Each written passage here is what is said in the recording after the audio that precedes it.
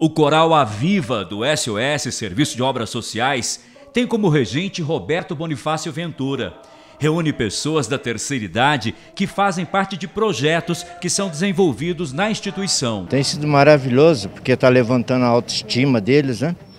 Porque eles acostumaram a ter uma quinta-feira para poder é, ficar feliz, né?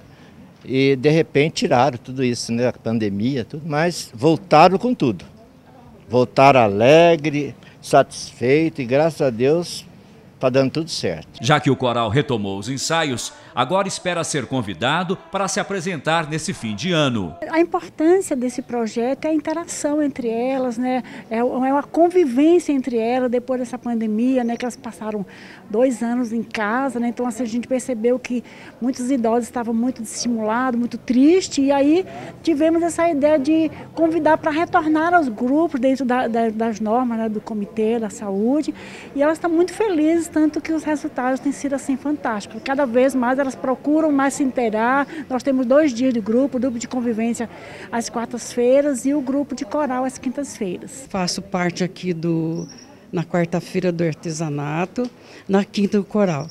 Eu estou muito contente, gosto muito, gosto da minha turma, gosto muito deste lugar. E aqui, para mim, foi um refúgio.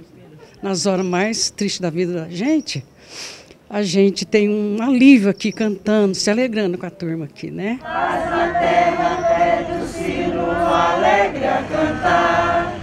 Abençoe Deus, menino, esse nosso lar. Hoje a noite é bela.